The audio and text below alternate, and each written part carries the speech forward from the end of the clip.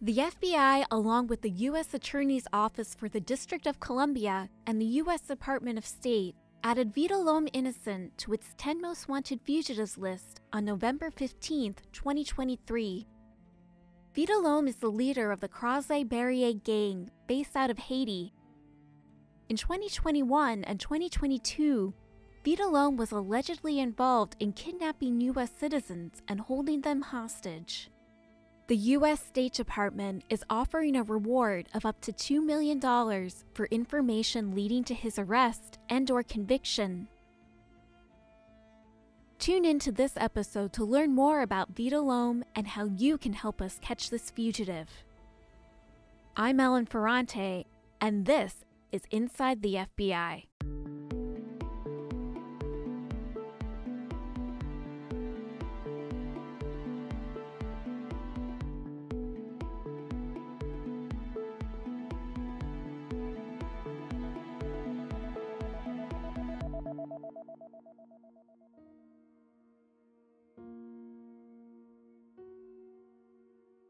Vitel'Homme is the leader of Kraze Barye, a gang that operates in the Torcelle and Tabarre areas of Haiti's capital, Port-au-Prince.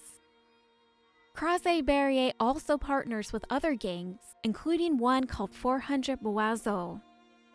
The FBI estimates there are at least dozens of members between the Kraze Barye and 400 Mawozo gangs. Mark McCormick is an assistant special agent in charge at the FBI Miami office, working to find Vitel'Homme. McCormick explains These gangs are part of a loose coalition or umbrella of gangs that operate in and around Port au Prince. The 400 Mawozo and the Kraze Barye gangs operate under this coalition that's led by a gang member we refer to as Barbecue. They're very violent gangs, but they seek crimes of opportunity, such as kidnappings for ransom, which we refer to as KFRs, cargo theft, and other crimes where they can profit from them. They try to control very specific areas for each individual gang. So some will try to control the ports or even major roads in and out of Port au Prince in order to profit from those crimes of opportunity. The main goal is money. And so if they control the ports and what comes in and out of the ports, they can rob or take over the cargo and or rob people in and out of Port-au-Prince or even kidnap them and then hold them for ransom. They specifically seek out US persons because there's a perceived wealth from US persons US citizens traveling in and around Port-au-Prince.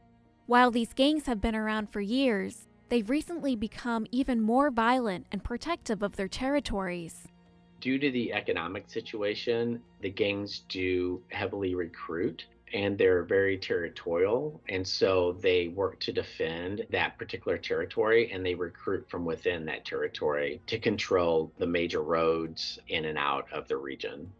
Vitel'Homme came to the attention of the FBI in October 2021 when Kraze Barye and the 400 Mawozo gang allegedly kidnapped 16 U.S. citizens who were serving as Christian missionaries near Port au Prince. The group included five children. The youngest was eight months old. The hostages were allegedly held at gunpoint, and most remained captive for 61 days before escaping.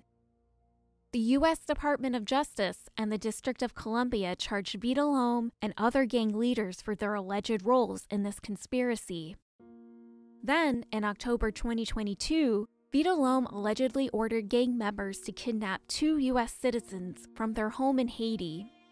Armed gang members allegedly forced their way into the victim's residence and attempted to kidnap them. During the kidnapping, the gang members allegedly shot and killed one of the victims. The other victim was taken into captivity and held hostage at an undisclosed location in Haiti, while Vitel'Homme participated in ransom negotiations in exchange for the victim's release.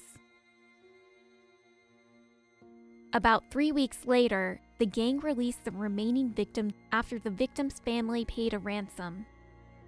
The District of Columbia charged Vitel'Homme for his alleged role in these crimes. Vitel'Homme has a very violent history. and he's very unpredictable. One of the things that makes him extremely dangerous is the number of gang members that he operates who also have a tendency towards violence and they are very well armed. He, Loam, has a lot of influence over the gangs and he has shown violence towards U.S. persons to include kidnappings and even murder. The FBI has the full might of our investigative teams behind this investigation, and our resolve will not waver until Vitel'Homme is brought to justice. Of course, like any fugitive, if he would choose to peacefully turn himself in, we would gladly welcome Vitel'Homme's surrender. Vitel'Homme is 37 years old and has black hair and brown eyes. He is between 5 foot 7 and 5 foot 10 and weighs about 150 pounds. Vitel'Homme is believed to be in Haiti and has ties to other countries throughout the Caribbean. If you have any information concerning Vitel'Homme, please contact your local FBI office or the nearest American embassy or consulate, or call the FBI at 1 800 CALL FBI or 1 800 225 5324. You can also submit a tip online at tips.fbi.gov. Tipsters can remain anonymous.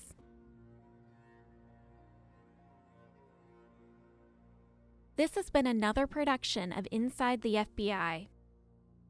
You can follow us on your favorite podcast player, including Spotify, Apple Podcasts, Google Podcasts, and YouTube. You can also subscribe to email alerts about new episodes at fbi.gov/podcasts. I'm Ellen Ferrante from the FBI's Office of Public Affairs. Thanks for tuning in.